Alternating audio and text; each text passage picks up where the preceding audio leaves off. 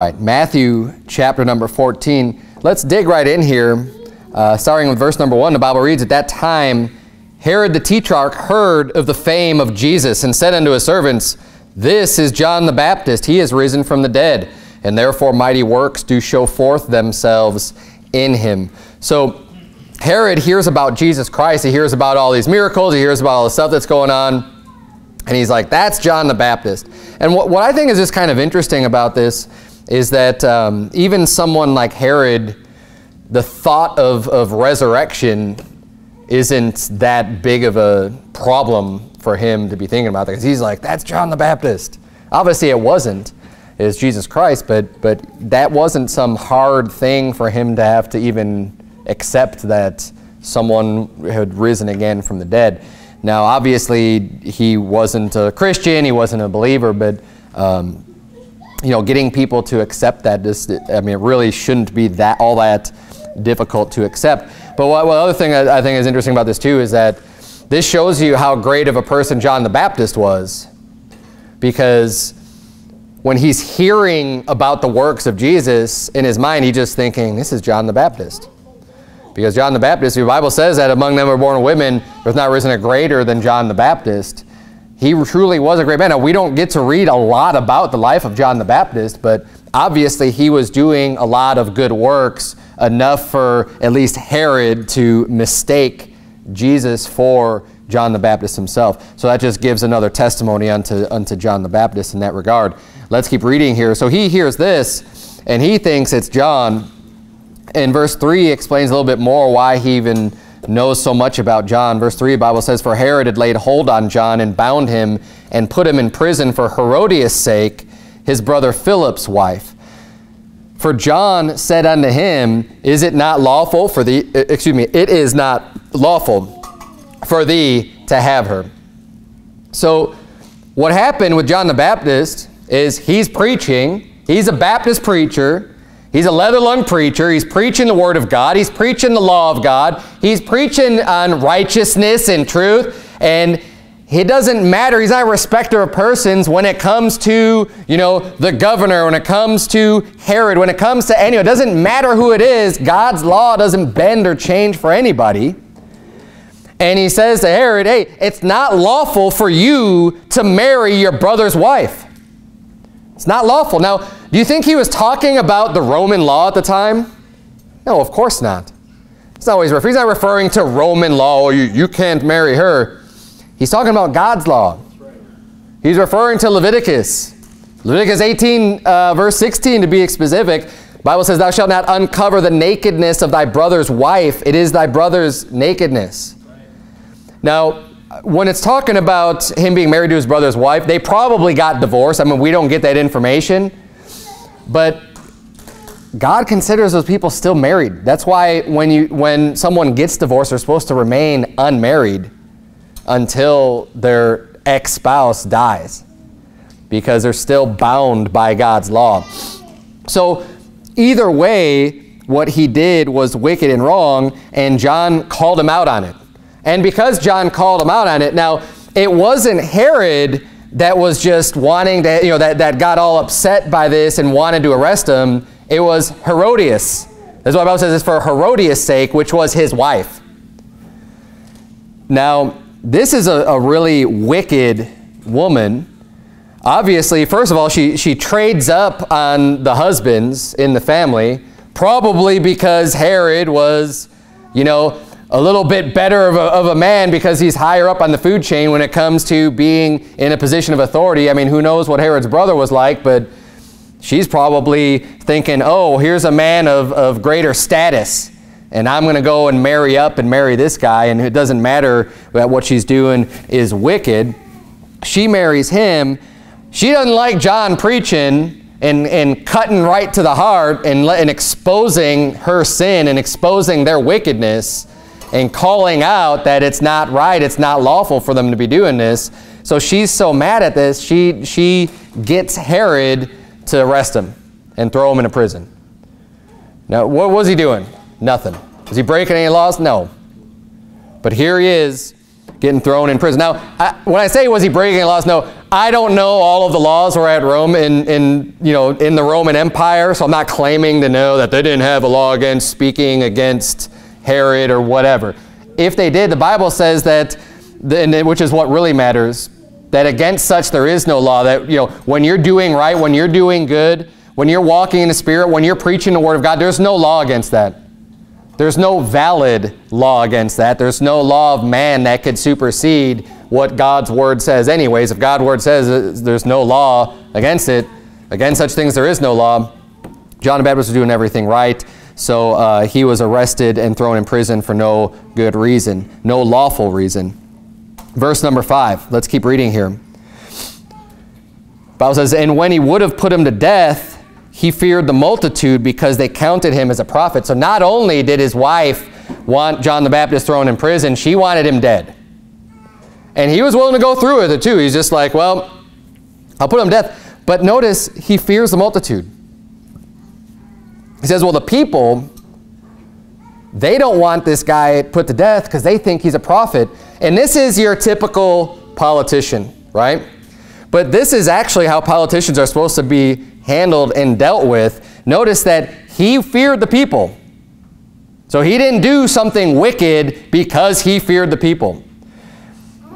You have a big problem, and I'm not going to get too political tonight, but just in general, you have a big problem in your country and in your nation when your leaders are putting the people into fear instead of them being in fear of the people. When they start getting all this power, and just being able to do whatever to you, and the people are all fearful of, of what government's going to come and do to you, you're not in a very good, you know, that's a tyrannical situation. It, the roles need to be reversed where they ought to be fearing what, you know, and well, ultimately, the, the ideal situation is that the person in charge fears God. That's ideal. When you've got the ruler fearing God, then you're, then, then you're in a much, much better situation. The next best thing is fearing the people, right? And the worst case scenario is when all the people are just fearing this, this tyrant. And what we see with, what we also see with Herod though, besides just being a politician, he's just kind of swayed. He, he's a real weak, real weak person. He's got his wife telling him what to do, and he's just listening. Okay, uh, get that guy arrested. I. Okay, get him put to death. Okay. Oh, oh wait, no, I can't because these I fear these people more than I fear you. Right? He's more he's more feared about the, the multitude of people than he is about his own wife. He's saying, so I'm, I'm going to listen to these, these people over here. We see another example as we keep reading when there's this birthday and he's got other people around and he, and he decides to end up beheading John because of these other people that are sitting with him. It's like, dude, just make up your mind and do what you do and do what's right because you think it's right. Don't just be swayed and be influenced by everybody else and just trying to do be a people pleaser and just do what everyone else wants you to do. Why don't you just do what's right? Decide what's right and do what's right. But Herod does, is, a, is a coward. He's not a man. He doesn't have the backbone to just stand and think for himself. He just wants to try to take the easy path of just trying to appease everybody He's trying to appease his wife. He couldn't fully appease his wife because he had to appease these people. And then while he's appeasing these people, well, now he's got these other people he needs to appease. So he's trying to do this balancing act of just trying to keep everybody happy instead of doing what's right.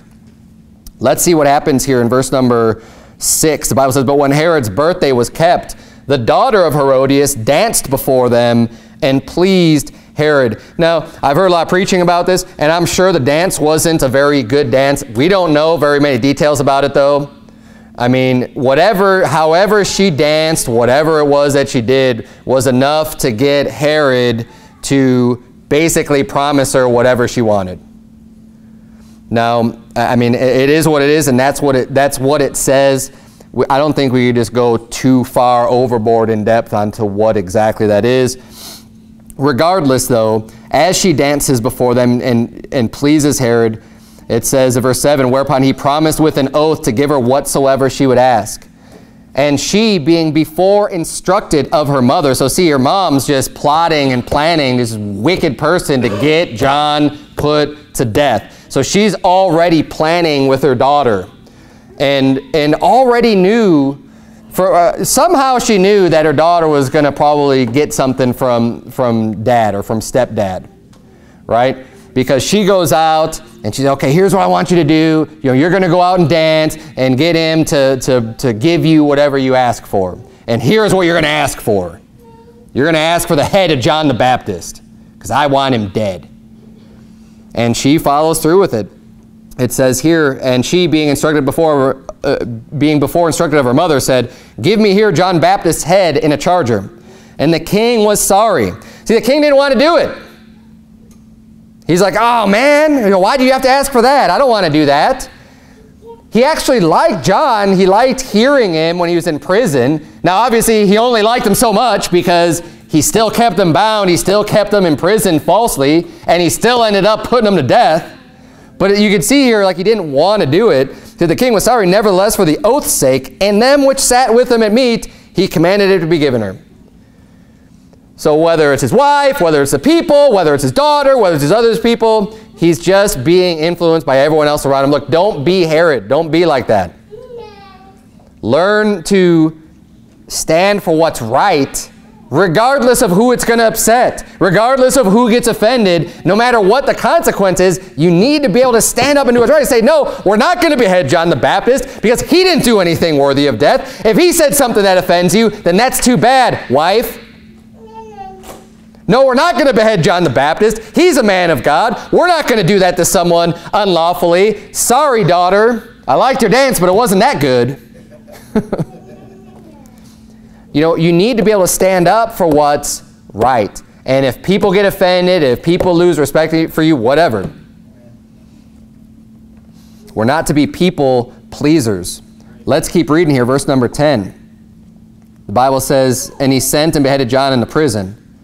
And his head was brought in a charger and given to the damsel, and she brought it to her mother. How wicked is that? And think about just how much power there is too. Like this, I just want, I want this guy dead, and it's just done. And they just bring out a head, just on a silver platter. Here you go. Here's a head of a human being.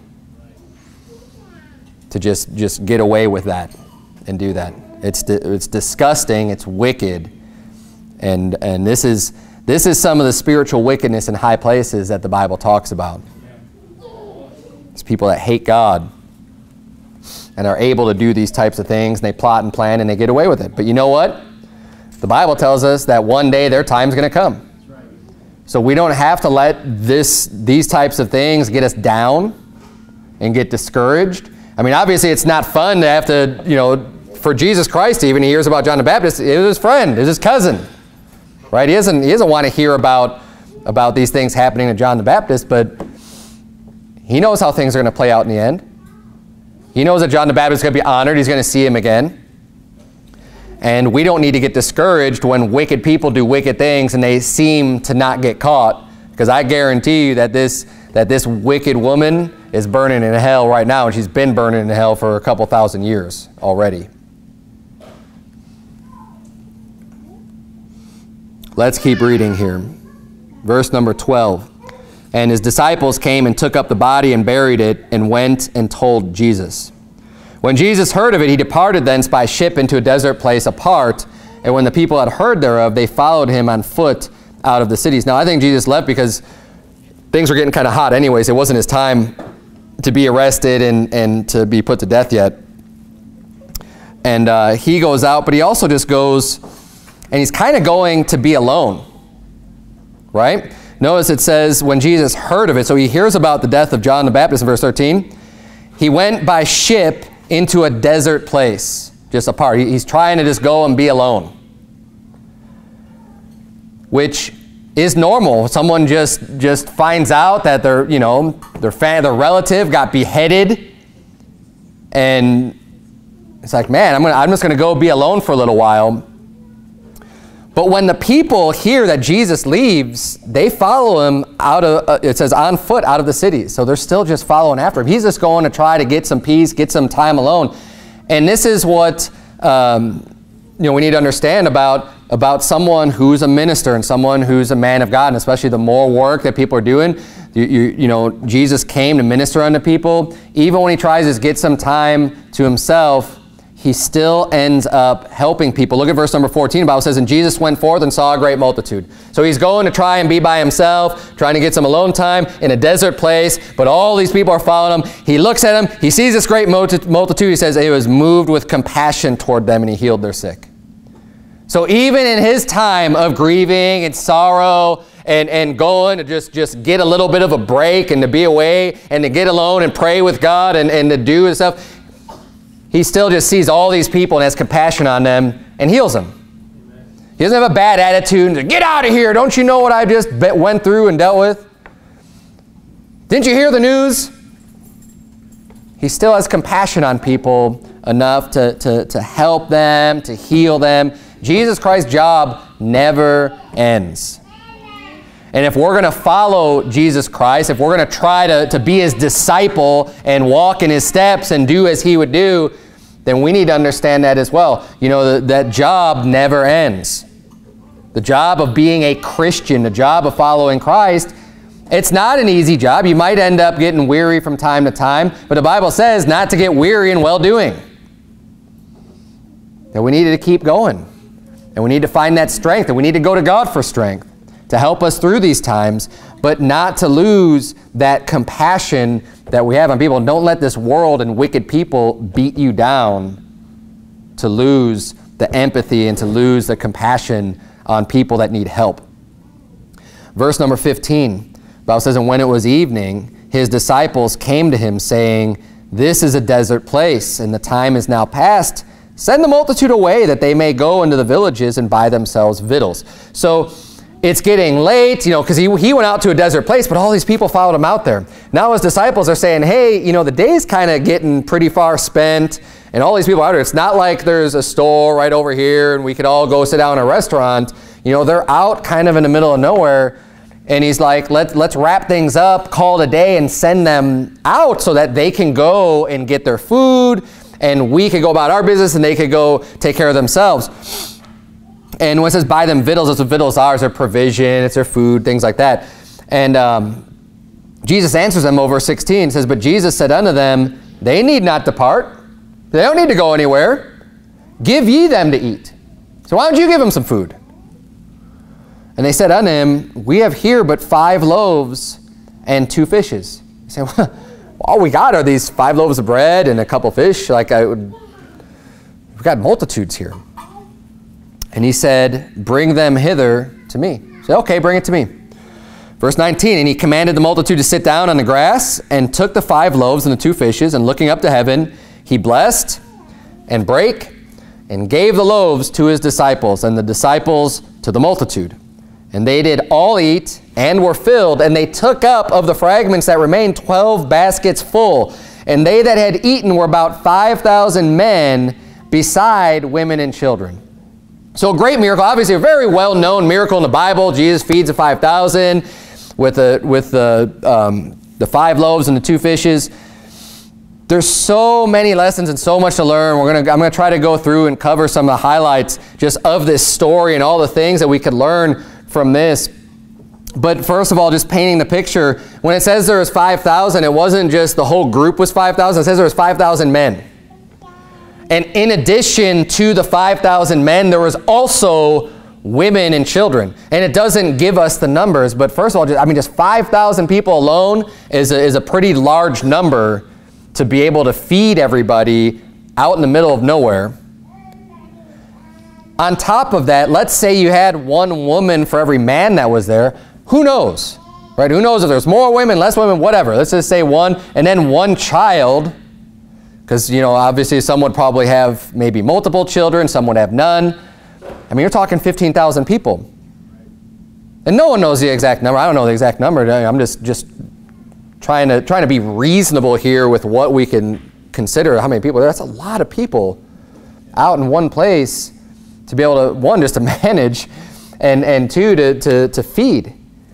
This shows, uh, the reason why I'm kind of I'm bringing up and just, just imagine all these, these numbers, you know, 15,000 people, how much does a, like a, a stadium, a typical stadium hold? I know there's different sizes and stuff. Does anyone know like, uh, I'm sorry? 80, like 80 for the bigger ones, right? But like the, there's, there's smaller ones, probably around 50,000.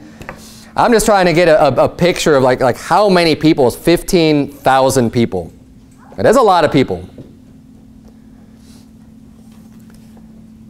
And for Jesus to take, and that's why his, his disciples were like, we've got five loaves of bread. You know, what do we want to do? We got five loaves of bread. But they bring it to Jesus. And what does Jesus do with it? He blesses it. Bless the food. He breaks it. And then he gives it to the disciples. And then the disciples hand it out to the multitude. And there's so much symbolic and broken here. Of course, we know from Scripture Jesus Christ is referred to as the bread of life. Jesus is the bread. We have the, the, the Last Supper, right, where he has communion with his disciples and he breaks the bread. It's no mistake here that he's breaking the bread before all and, and having that bread distributed for all to eat. And notice his body was broken for us. His broken body is sufficient for everybody. Jesus Christ, the bread of life, being broken is enough for everybody. Everybody. His one payment, what he did for us, is enough to cover all sin. It's enough for every single person. And the, the bread that was distributed was enough to feed everybody. In fact, everybody was full. Nobody was left going, well, you know, that was good, but I'm still lacking a little bit. There's still, I'm still kind of hungry. I didn't quite get enough to eat. Everybody was satisfied to the point to where there was leftovers. To the point to where there was more leftovers than what they started with. Nobody had lack. He gave to his disciples, notice that, and the disciples gave to the multitude. As a disciple of Jesus, we need to be freely passing out that bread of life to the multitude. They already received the bread from Jesus. Now they're taking that bread and they're distributing it to everybody else. Jesus wasn't directly going one-on-one -on -one with everybody in the group. He gave to his disciples. His disciples gave to the people. If you're a disciple of Jesus Christ, if you're a follower of Christ, you need to be taking that bread of Christ and bringing it out to the multitude so that they could be filled, so that they could eat of the bread and never be hungry again.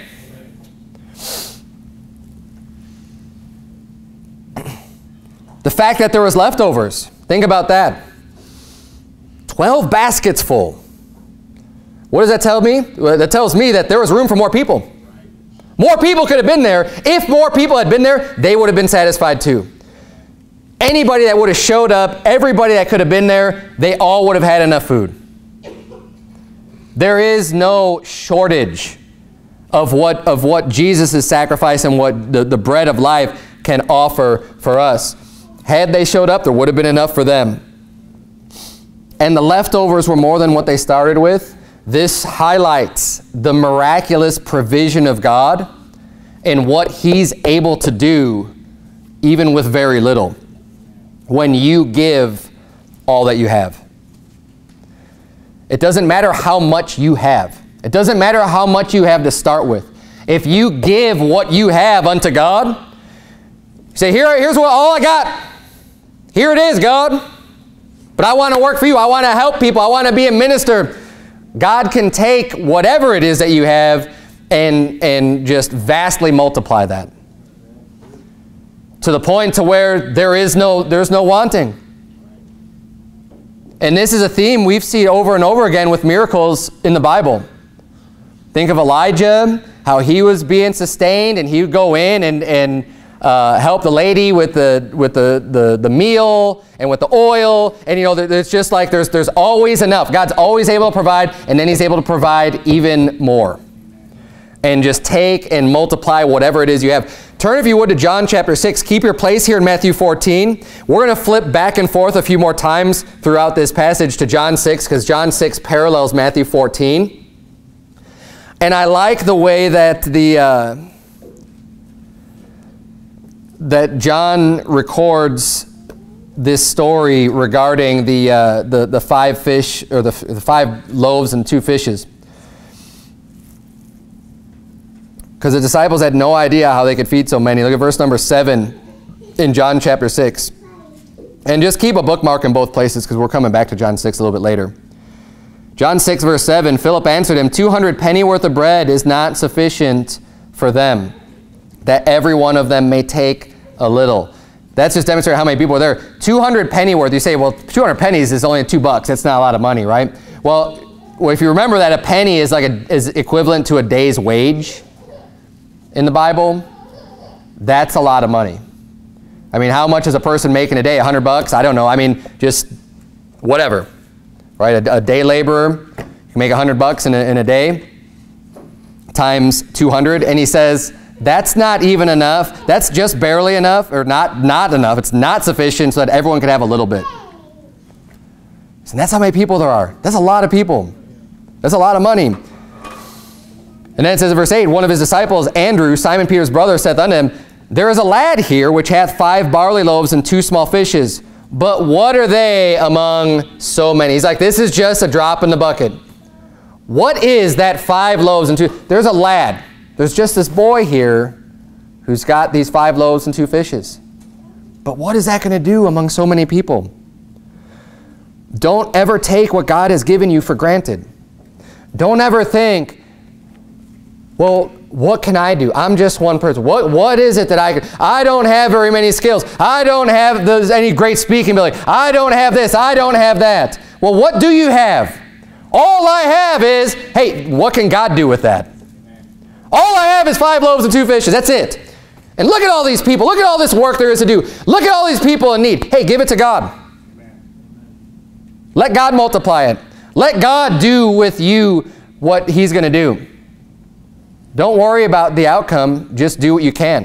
Just give what you have. God will make sure that the rest gets taken care of.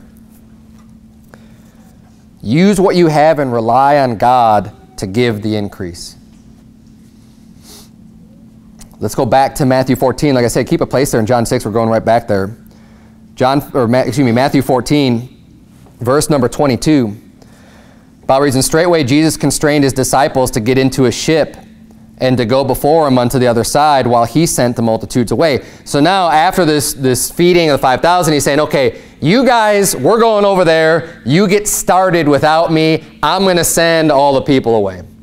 Okay, and that's exactly what he does here, verse number 23. And when he had sent the multitudes away, he went up into a mountain apart to pray. So he finally does end up getting his alone time. But again, this just still shows you how much work and what Jesus did while he's on this earth and how he really didn't have much rest.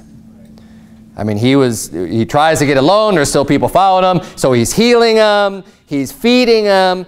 Now, think about this too. Jesus Christ, yeah, he was God, but he was God in the flesh. He experienced and went through. He understands what it's like to be human. Because he, he limited himself in the sense that he took on this human body. And that's why we can go to him with boldness. He understands what we go through. He understands the, the, the, the constraints in our bodies and, and, and all of the things that go along with that, the hunger, the tiredness, the sorrow, all the things that go along with being in his body, he understands that. Yet he still did all the work. And anyone who's ever gone out soul winning for any length of time, you know, if you were just to take that, instead of going soul winning, if you walked the same distance that you walked when you go out soul winning, right? Let's say a whole day, and just did a walk, would you really be that exhausted or that tired at the end of the day? I would say probably not. I mean, I know for myself, just going through some doors, maybe walk up some stairs, go down some stairs, at the end of the day, you're not going to really feel that tired. I mean, it's, it's not that much strenuous work when it comes to soul winning and just walking around. What gets you tired?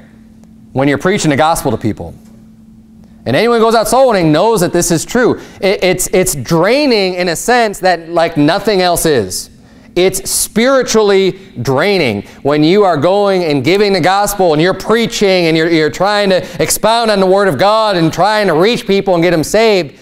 You know, you don't feel like you're lifting weights. You don't feel like you're getting out of breath or you're doing any physical exercise. But boy, at the end of the day, man, are you exhausted.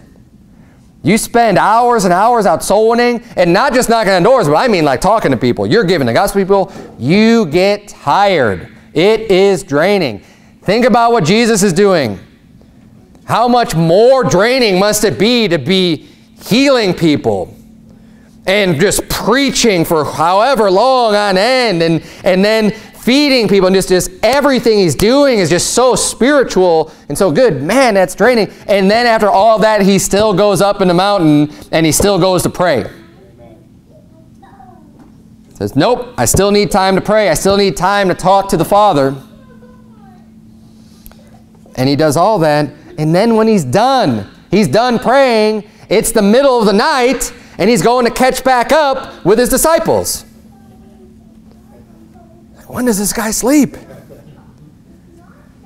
It's amazing. But what a, what a great example for us, too. I mean, it, he was constrained by a fleshly body. That is a good example for us. Even though we're not God, if he was able to do it, he was physically able to do it as a human being. There's a lot that we're able to do. And I think the vast majority of time, we fail to, to reach our potential.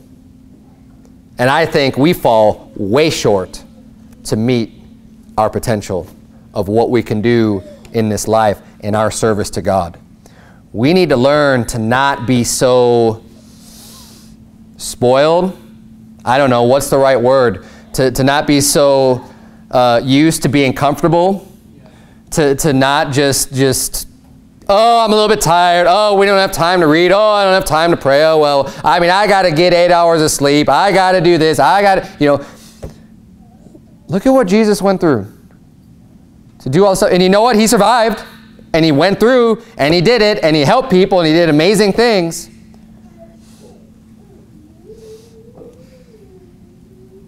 And, you know, be very careful not to think too highly of yourself either with the work that you're doing. Why don't you compare yourself to some of the people that we see in the scripture and be like, wow, am I really doing? I wonder, have I done my best for Jesus when he has done so much for me? Look at how much that he's done.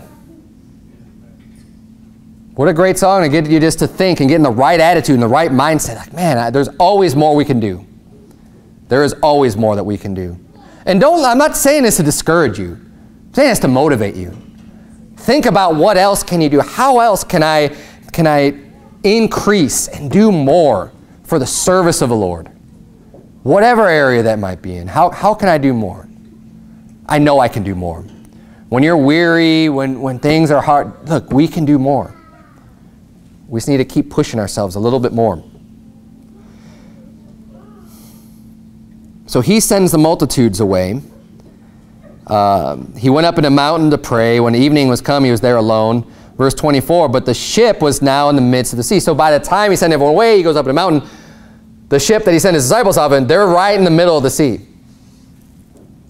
And it says it's tossed with waves, for the wind was contrary. So the wind had come, there's kind of a storm moving in, and there's just all kinds of waves in the middle of the sea, and they're right smack dab in the middle of the sea when all this is going on. Verse 25 says, And in the fourth watch of the night, Jesus went unto them walking on the sea. Now the fourth watch of the night, this is the middle of the night.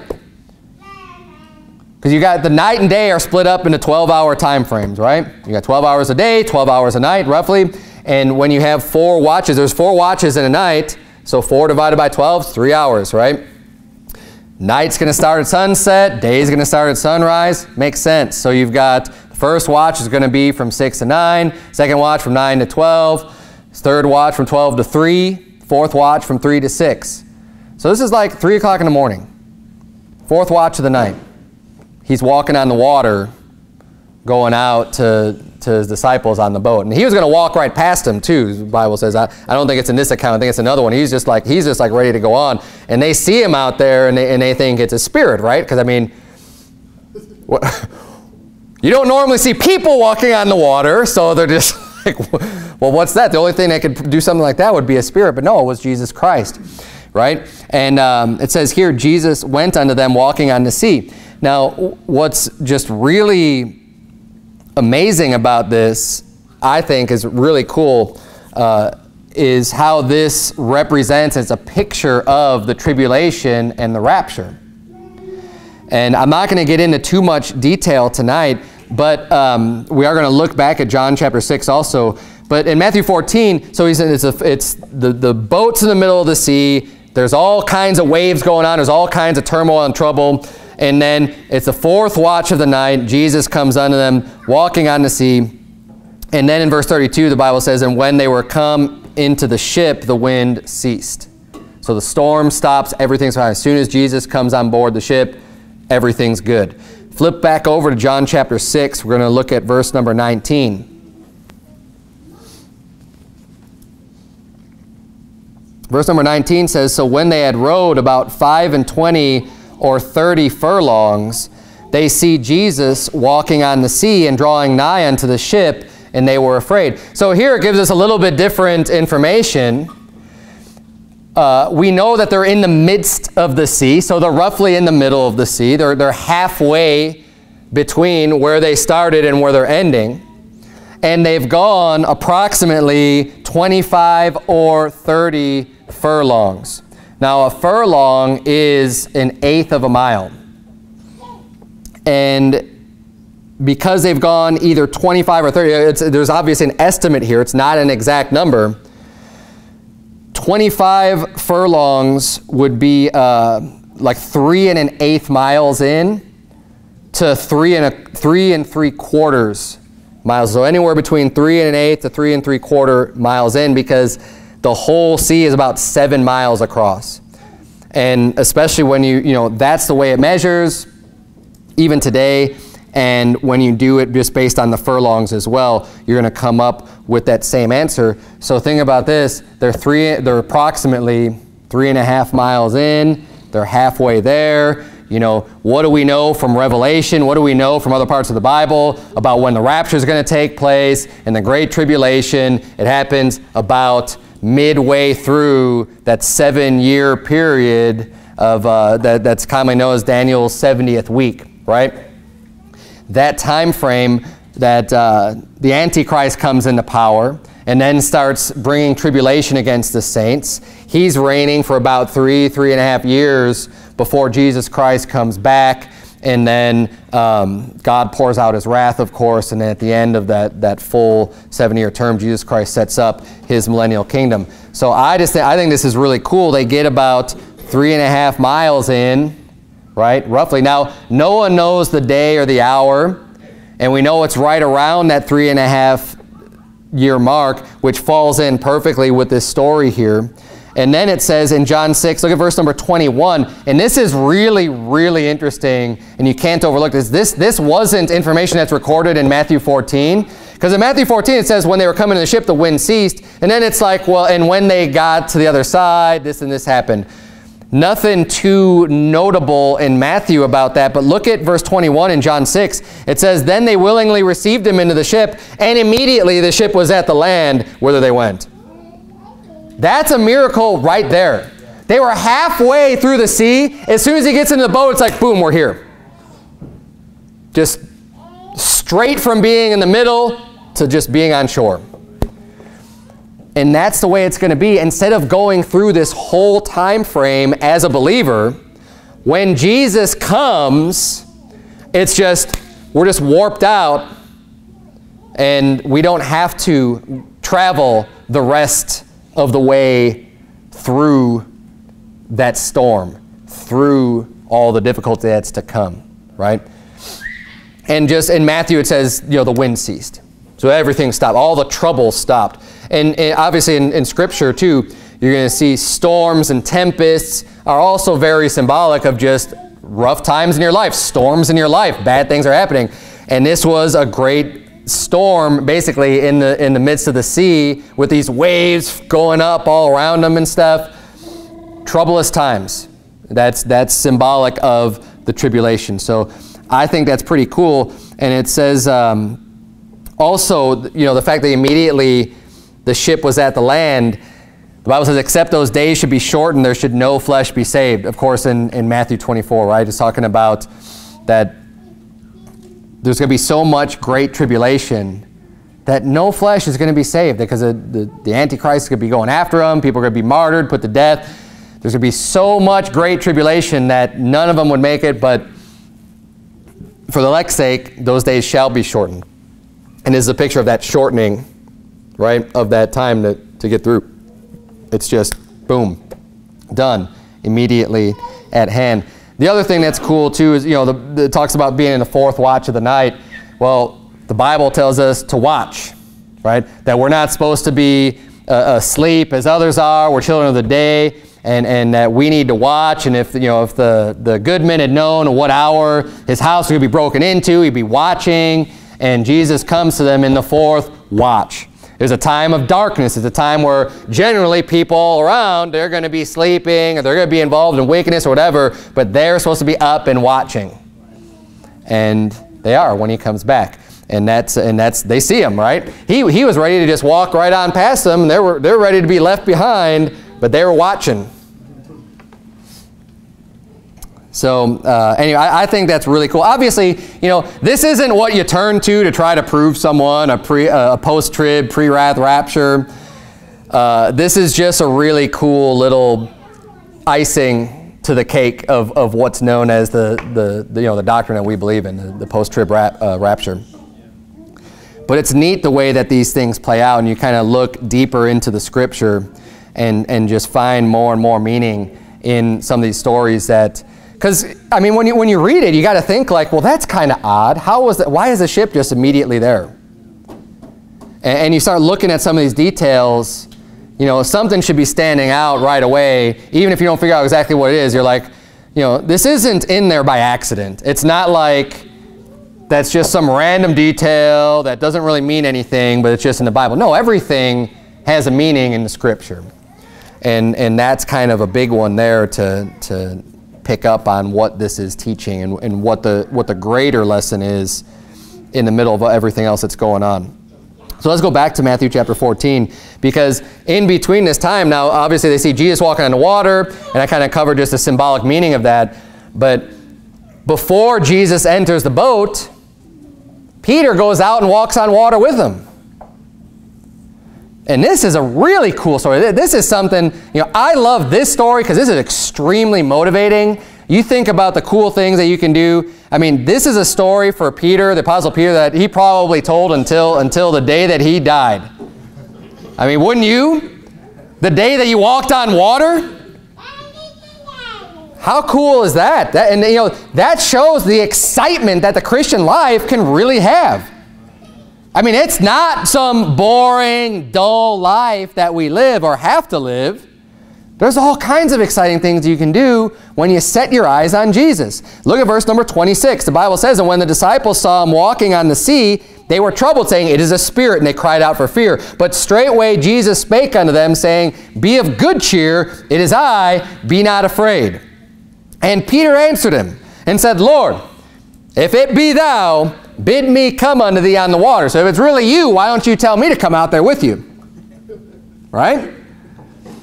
I wonder if he knew what he was saying when those words are coming out of his mouth. But he's saying, if it's really you, you know, uh, what, if, what if it was really a, a, a devil spirit or something? He's like, yeah, come on out here, right? but this is what he says. He says, hey, if it's really you, bid me come out. And he says, come. Come on. And when Peter was come down out of the ship, he walked on the water to go to Jesus.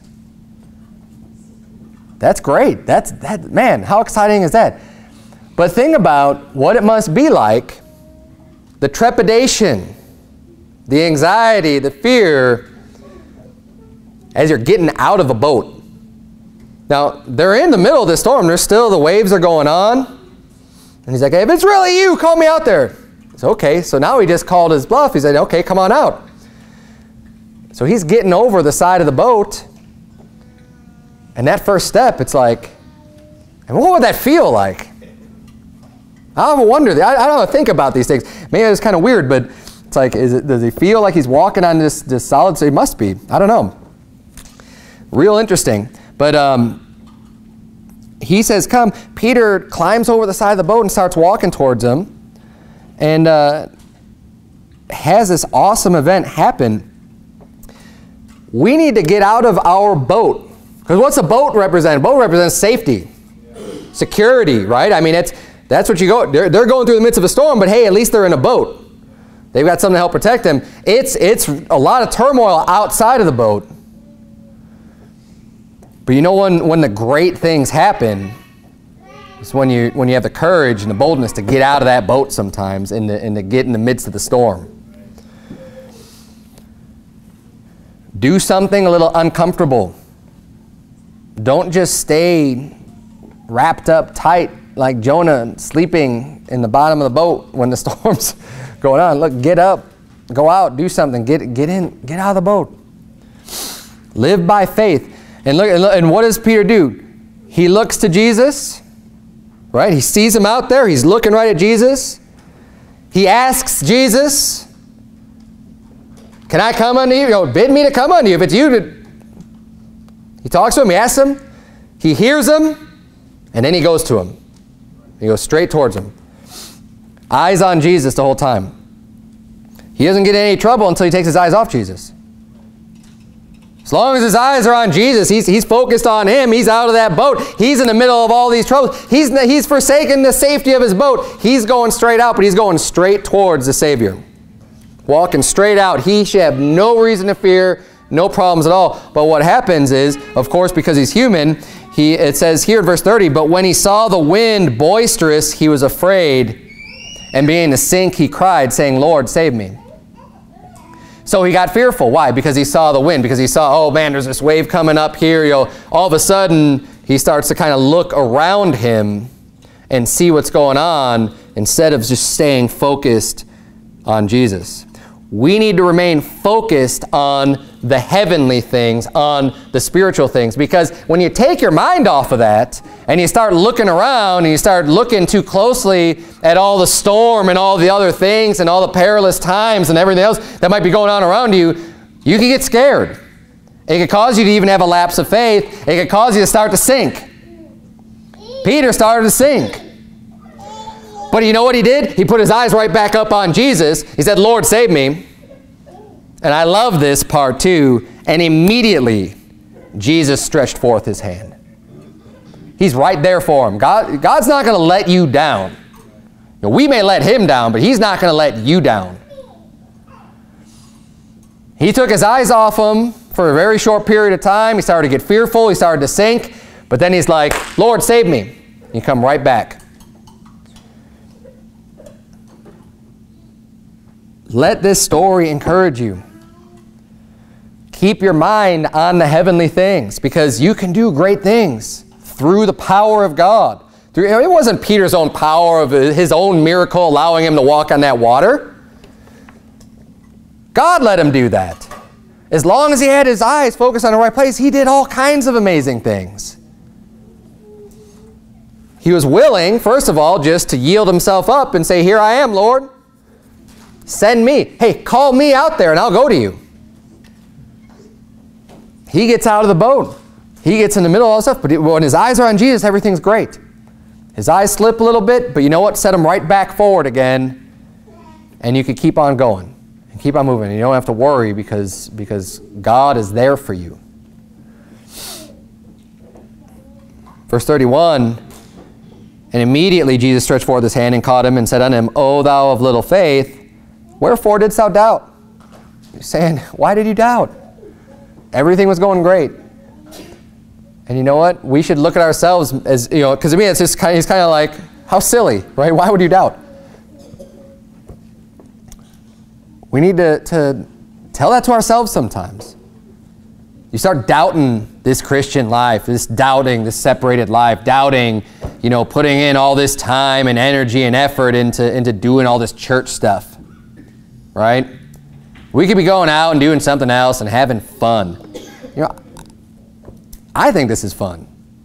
I don't know. I love, I love being part of this church, and the more time I invest, the more I love it. And that's just, I'm, that's just me speaking from my heart. I'm not trying to sound like extra spiritual or anything. Like, I love this church, and I love what God's doing here, and I hope that you do too. And, you know, when, when things start to just feel like they're, they're bringing you down, Get, get your mind back, get your eyes focused back on Jesus and set on, on, on the right things. We can have a lot of fun doing this. We have all kinds of fun in the midst of a storm. Think about yourself as like little kids. I know my kids, when the storm out, they love to go outside, play in the rain and everything else. Let's be like those types of kids. Hey, in the middle of the storm, let's just go and do, you know, in the midst of the storm, obviously doing what's right, but we could have fun doing it. Peter got out of the boat. That must have been great. How fun would that be? Verse 32 And when they were coming to the ship, the wind ceased. Then they that were in the ship came and worshipped him, saying, Of a truth, thou art the Son of God. And you wonder, like, I mean, his disciples were in that, in that ship. I wonder how many times they had that thought going through their mind or even said that to Jesus. I mean, it's just, it's proven to them, I think, over and over and over. Because, mind you, we're in Matthew 14. He's already done all kinds of miracles and healing people and stuff. They've already known he was a son of God, but it's just, it's just kind of like, it seems like their mind just keeps getting blown by all these things that Jesus is able to do. I mean, so he's out there walking on the water, the wind stops, they're right at the shore. It's like, son of God. No other explanation. You are the son of God. Verse 34, And when they were gone over, they came into the land of Gennesaret. And when the men of that place had knowledge of him, they sent out into all that country round about, and brought unto him all that were diseased, and besought him that they might only touch the hem of his garment, and as many as touched were made perfectly whole. His job still isn't over. What a day. What a night. I mean, all this, look at what Jesus is doing. I mean, how many sleepless nights has that has has Jesus Christ had for the people, for us, for everybody?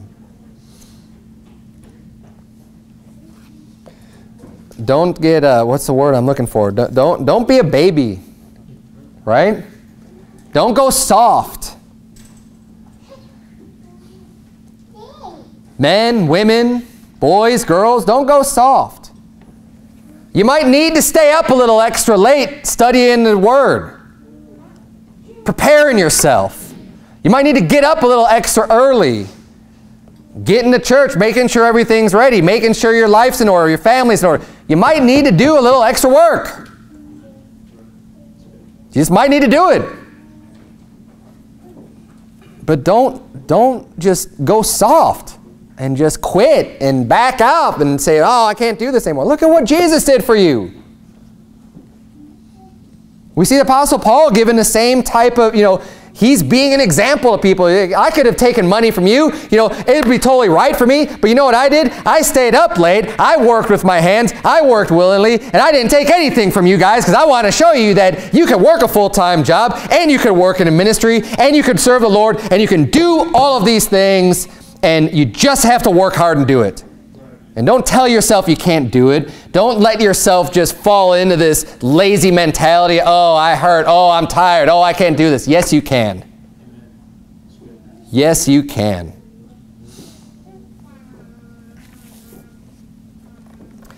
What a great, you know, we're going to continue to read through this, but I often just wonder, it still, it still blows me away when you see people, it's like, they do so much and instead of, don't get discouraged by that. Really don't. I, am I'm, I'm not trying to, to cause anybody here to be like, oh man, I'm such a terrible person. Be encouraged just to do more and, and, and to find strength through other people. Find the strength through God, through Jesus, through all this stuff.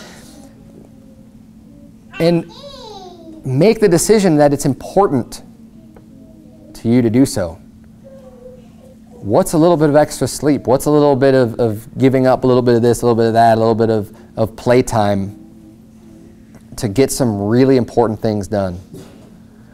I, you, know, you know who it meant a lot to? That Jesus didn't get a lot of sleep. It meant a lot to all those people that got healed. Think about them. When you think about all the things that you want to do, think about the time that you could be spending for others and how much value they can get out of it versus whatever value you're getting out of not doing, you know, sitting around, sitting around on your rear end doing nothing. Everybody's guilty of that from time to time. I, I'll be the first one to raise my hand, but let's not just be complacent. Let's not just be okay with that. Let's move forward. Let's keep pushing ourselves. That's why we're here. Let's provoke one another into love and good works. Let's bow a word of prayer. Dear Lord, we love you. We thank you so much for uh, these great, exciting stories that we have in the Scripture. And, and Lord, we know that, that you can do just as many miracles today as you've ever been able to do. There's nothing restraining you or holding you back, Lord. Um, we're the ones that end up restraining you with our lack of faith. But God, we want to do more. We want your great power to be known. We pray that you please just help us and use us to, to, to do that, to further that end, that um, we could just, just bring honor and glory unto your name, and that we can just bring people into the knowledge of Christ and, and lead people there, Lord. Help us to, to do great and, and many and wonderful works uh, in your name. Uh, it's in Jesus' name we pray. Amen.